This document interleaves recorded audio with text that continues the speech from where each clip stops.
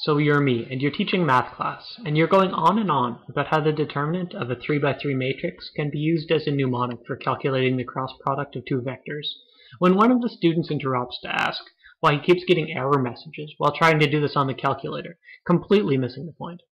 You swallow your exasperation because, as renowned education researcher Daniel Willingham argues in Why Students Don't Like School, the brain is designed to minimize the amount of computation it wants to do, so what seems like laziness and willful teenage ignorance is really just genetic programming. So you decide to switch tracks for a bit and do the cross product by representing vectors as linear sums of the base vectors i hat, j hat, and k hat, which have these beautiful properties. It's actually a group, but I probably shouldn't mention that. Vectors are confusing enough already. Anyway, while you set the students a couple exercises, your mind wanders. You wonder if you can find a set of 2 by 2 matrices that satisfy some of the same properties as the base vectors. Well, at first blush, there don't seem to be many constraints, so you think about the matrices. You need any two of the three matrices to produce the third when multiplied together. You could get such a set with one diagonal matrix and two traceless matrices, so let's try that.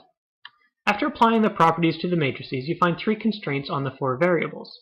So you can rewrite the matrices in terms of a single variable. That's not bad and they all have the same determinant, which is sort of like them all having the same size. I wonder if that's something deep, or just a bit of serendipity. Hmm. These matrices look familiar now. If I set C to be negative i, and then factor out a negative i from each matrix, I get the Pauli matrices, which are used to describe spin in nuclear physics. That's not bad. See, there's a beauty in math beyond the pretty sketches, but the artistic component of doing math also includes aesthetic choices during the creation process. As a teacher, I face a daily battle between the need to teach math as a set of skills, how to do math, and as an artistic endeavor. I try for a balance, but the realist in me sees that some skills are simply necessary if my students are to continue on to technical careers. You need to know the multiplication table, you need to know how signs work, and you need to know how derivatives are used to approximate rate of change. In the end, it's a sad inevitability that math as art often needs to take a backseat to math as social tool. Hmm. It seems like they're doing alright with this approach.